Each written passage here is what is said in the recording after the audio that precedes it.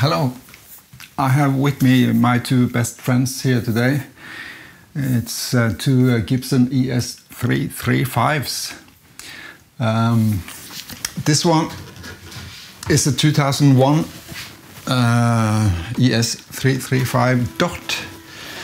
Um, has been with me, uh, I don't know, I think it's around 15 years already and it has been much played and it's a, just a great guitar. It's it's it sounds great.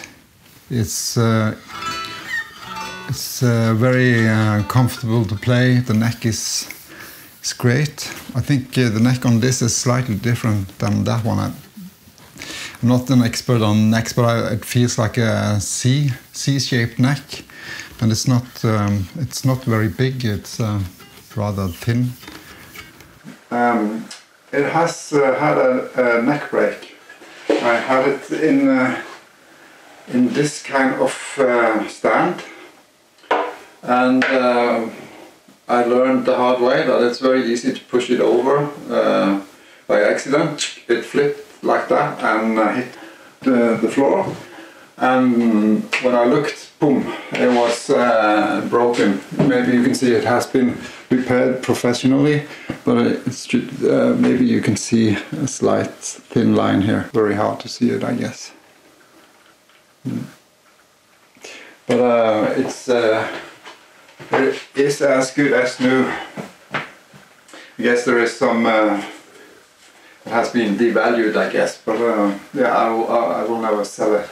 Um, so the story with this guitar is that it uh, had Grover tuners on it, and I had recently uh, replaced them with these that came off a Gibson Les Paul, uh, just because I liked the looks of these better.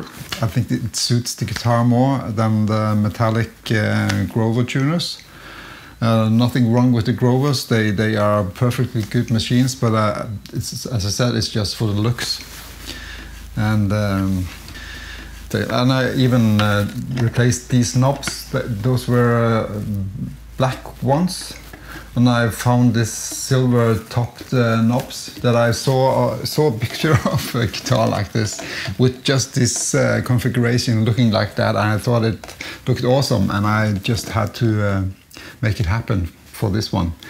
Because this has been sitting in its case for a while because I got this one.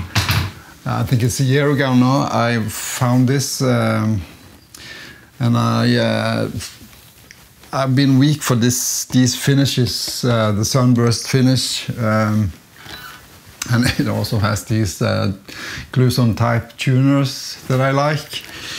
And this is a 1963 reissue, um, and this has a bit uh, different character to the sound than than this uh, this other one. And um, I really love this guitar. It's uh, it's so good to play, and the neck is different. As I said, it has this feels more like a D-shaped uh, neck. It's a bit uh, wider, uh, but it's very comfy for me to play. Um, and this has the saddles on this are nylon. Uh, as is also the um, the nut. So um, that would that would give it a different character on the sound, I guess. Uh, so a big part of it.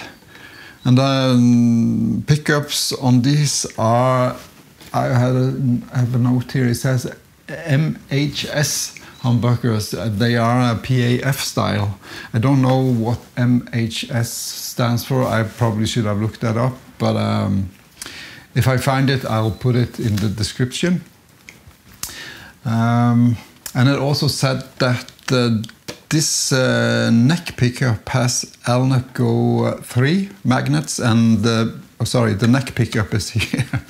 uh, it has Alnico uh, 3 magnets and the bridge pickup has Alnico 2 magnets.